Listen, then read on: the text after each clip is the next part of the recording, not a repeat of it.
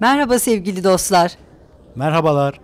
Bu videomuzda sizlerle İstanbul'un en eski semtlerinden biri olan Karaköy'ü köşe bucak gezeceğiz.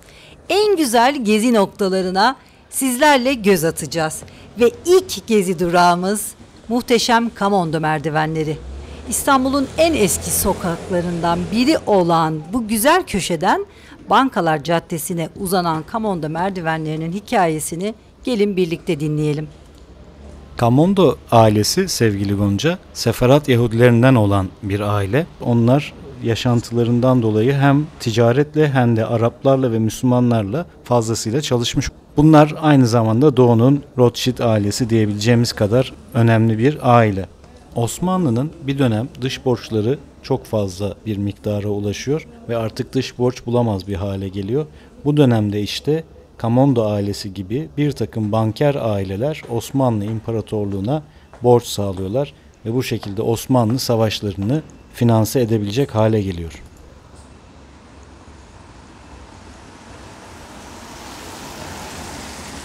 Bu aileler aynı zamanda sadece savaş finanse etmek gibi değil, Osmanlı'nın o dönemde Avrupa ile bütünleşmesini sağlayacak bir takım kültürel envanterleri de İstanbul'a kazandırıyor.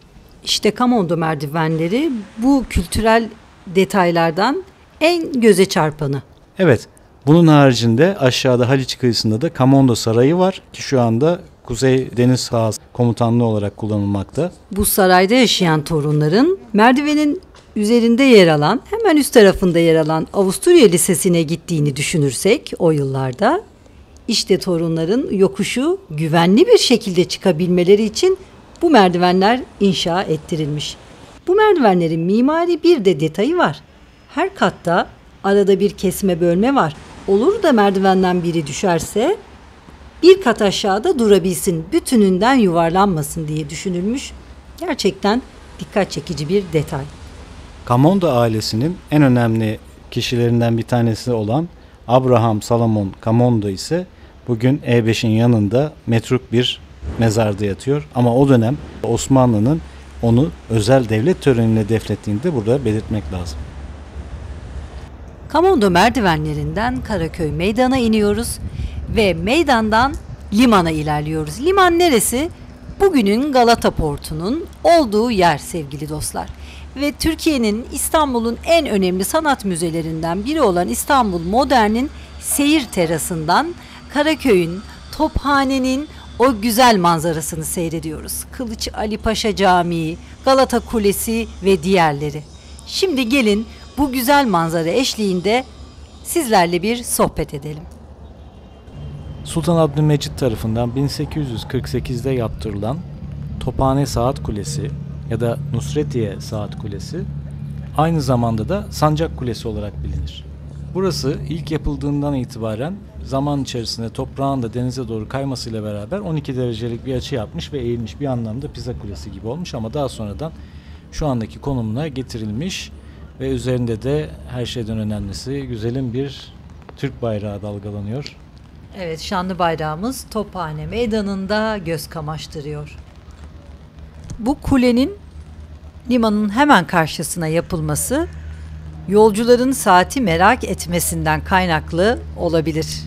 Limanda gemiden indiklerinde acaba saat kaç diyorlardır. Meydana geldiğinizde uğramanız gereken bir önemli durak da İstanbul'un en güzel modern müzelerinden biri olan İstanbul Modern'dir. Birbirinden güzel fotoğrafların ve resimlerin sergilendiği bu alan Galata Port'ta sizleri bekliyor. Nusretiye Camii Osmanlı tarihinde padişahlar tarafından yaptırılıp da külliyesi olmayan tek cami özelliğine sahiptir. Meclisi Mebusan Caddesi'ne çıkıyoruz. Caddeye çıktığımızda karşımıza Tophane Çeşmesi, diğer adıyla 1. Mahmut Çeşmesi çıkıyor. 1732 senesinde yaptırılan bu çeşme İstanbul'un üçüncü büyük çeşmesi ve şehirdeki en yüksek duvarlı çeşme olarak biliniyor. Çeşmenin karşısında birazdan gideceğimiz Tophane Amiri binası ve Karaköy'ün yoğun trafiği yağan yağmur eşliğinde bizleri selamlıyor.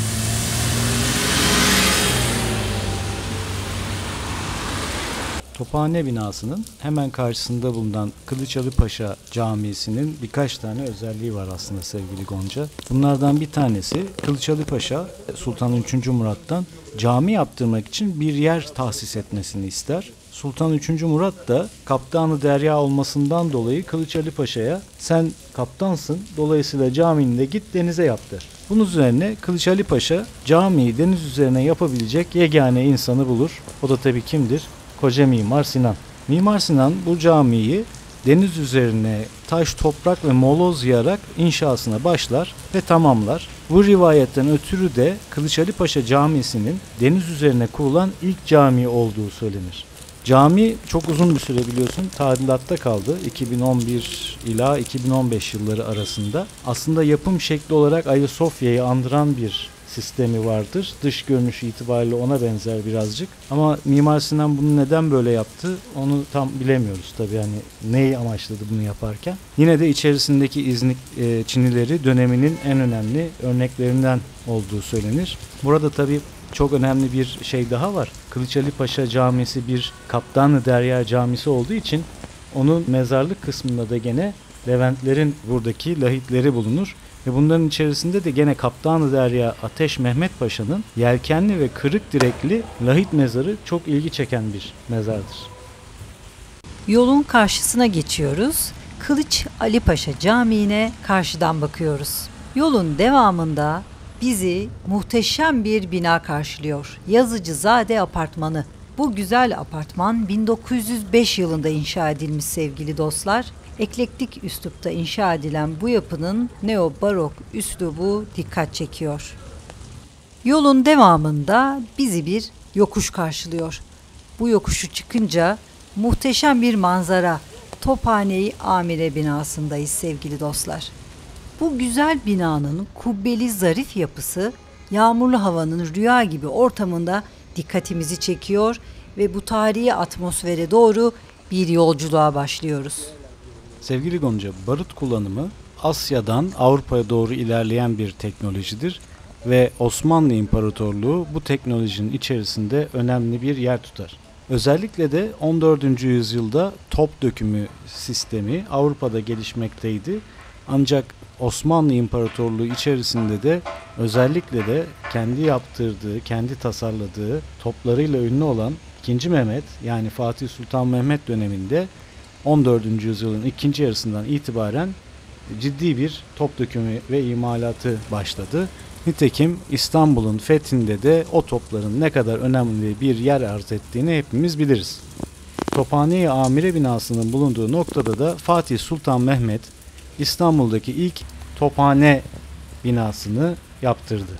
Fatih Sultan Mehmet Han'ın yaptırmış olduğu bu tophane binasının üzerine Evliya Çelebi'ye göre 2. Beyazıt'ta bir takım binalar yaparak burayı geliştirdi. Daha sonrasında Kanuni Sultan Süleyman devrine geldiğimizde Tophane-i Amire müştemilatına ait bütün binalar yıkılarak yerlerine daha büyük bir tophane binası yapılıyor. Bu büyük çalışma tamirat geçirmiş ve 1743'te tamamen yıkılmış. Kargir Tophane 3. Ahmet'in emriyle Sadrazam Damat İbrahim Paşa tarafından yaptırılıyor ve 1843 yılında Zeytinburnu Demir Fabrikası ki o zamanki ismiyle Grande Fabrik faaliyete geçene kadar da buradaki Tophane Amire binası çalışmalarına devam ediyor. Zeytinburnu'nda bulunan dökümhane artık iyiden iyiye ağırlık kazanıyor. Nitekim dünyanın ilk seri atışlı sahra topunu 1866-1868 yılları arasında Ahmet Süreyya Emin Bey burada yaparak Zeytinburnu Fabrikayı Hümayun'unda döküyor. Ahmet Süreyya Emin Bey böylelikle seri atışlı bir top yapılabileceğini kanıtlayan dünyadaki ilk insan olarak çok da parlak bir e, başarıya imza atmış oluyor. Tophane-i Amire binası günümüzde Mimar Sinan Güzel Sanatlar Üniversitesi'ne ait bir sergi salonu kültür merkezi şeklinde hizmet veriyor. Süreli sergiler halkın beğenisine sunuluyor. Sevgili Gonca, Osmanlı Devleti'nde top döküm ocakları adı verilen yerlerde icra ediliyordu. Aslında tophane deyince bu hem top dökülen hem de gülle yani içinde kullanılan merminin yapıldığı yer anlamına da geliyor. Bu çalışmaların yapıldığı binalar yüksek duvarlı, kubbeli ve fazla miktarda bacaya sahip mekanlardı. Çünkü bu yerlerde yüksek sıcaklıklarda eritilmiş maddenin taşınması için künkler, döküm esnasında çıkabilecek yangın tehlikesine karşı da su sarnıçları oluyordu ve top dökümü için zemine açılmış büyük çukurlar mevcuttu. Hatta top dökümünden dolayı meydana gelen büyük alevlerin çıkarabileceği yangınları engellemek amacıyla içi bal dolu fıçıların hazır tutulduğu da bilinmektedir. Bu güzel binayı gezerken savunma sanayinin bir ülke için ne kadar önemli bir faktör olduğunu bir kere daha hatırlıyoruz. Şimdi yolu yokuşa doğru sürüyoruz ve Fransız yetimhanesine gidiyoruz sevgili dostlar. Hazır mısınız? Sizi ihmal edilmiş bir güzelliğe doğru bir yolculuğa davet ediyoruz. Beyoğlu'nda Tomtom Mahallesi'ndeyiz. Boğaz Kesen ismiyle bilinen bu bölge İstanbul'un en dikkat çekici yapılarına ev sahipliği yapar. Fransız yetimhanesindeyiz sevgili dostlar. Kapıdan girer girmez sizi bambaşka bir ortam karşılar. 1868'de yetimhane olarak inşa edilen bu yapı Saint Joseph Yetimhanesi olarak bilinir. Bölgedeki Fransız çocukların barındığı, ihtiyaçlarının giderildiği bu yapı 20. yüzyılın ortasında Ermeni bir kartonpiyer ustası olan Garabet Cezayirliya'nın atölyesi haline gelmiş. Günümüzde ise terk edilmiş, yalnız bir sosyal tesis var ama uğrayanı yok. Binanın bahçesinde tarihi güzel yapılardan farklı olarak onlarca meyve ağacı var sevgili dostlarım. Yıllar önce buraya geldiğimizde bahçede tavuklar koştururdu. Bambaşka bir havası vardı. Bahçede gezerken terk edilmiş binaların gölgesinde bir yetimhane olarak kullanılmış olmasının getirdiği soğukluk yüreğimizi ürpertiyor sevgili dostlarım. Bugün şehrin en güzel yerindeki bu ortamın terk edilmiş olması, atıl durumda kalması, hizmet dışı olması kabul edilebilir bir şey değil.